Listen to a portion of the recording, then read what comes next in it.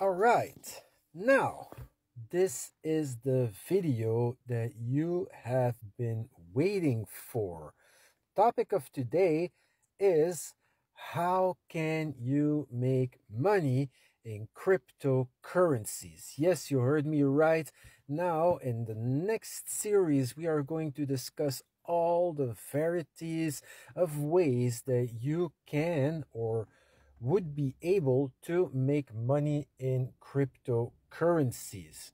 Now I'm going to break them down one by one. And after those series, we will probably dive deeper into more technical opportunities that you can find and that you can learn to find yourself in the crypto space. So, number one, the first and most foolproof way to make money in cryptocurrencies. Are you ready for it?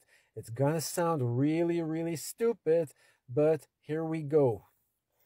Dollar cost average, short DCA. It's an all time favorite for the novice, the noob, the person who just wants to set aside a little penny at a time, hoping that over time it will grow into more profit. Now, why is this such a good idea? Now, if we look at the Bitcoin chart, you will see that over the span of the entire life of Bitcoin, the value has gone up.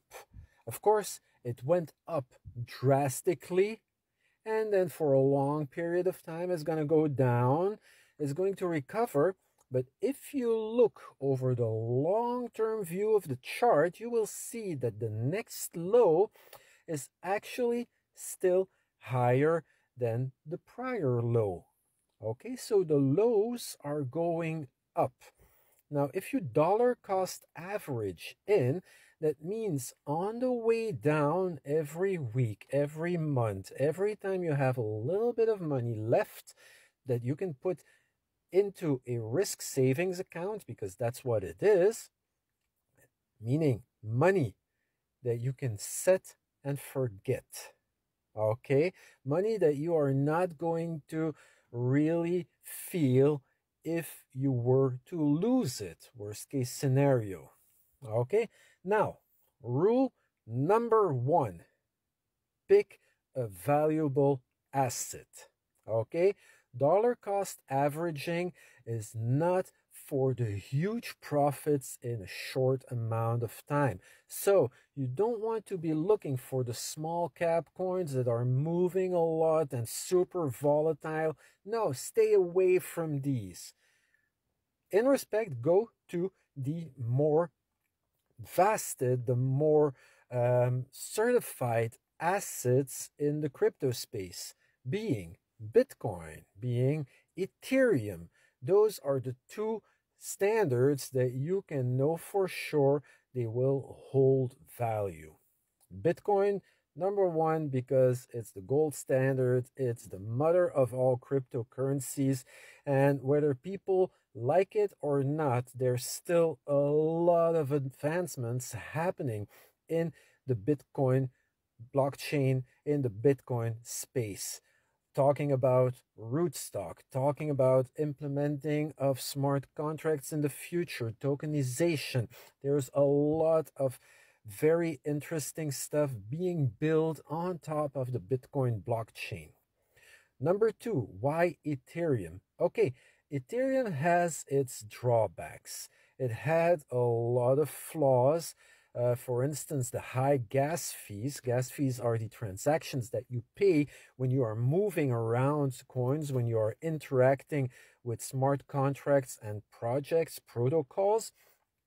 But, but, it is the mother of all smart chain, uh, smart contract blockchains or EVMs, Ethereum virtual machines.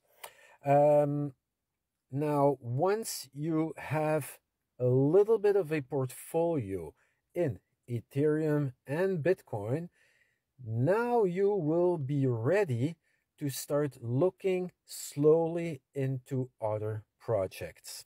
Again, if you are in it for the long term, go for projects that have a proven track record. That means that they have been around for at least four years.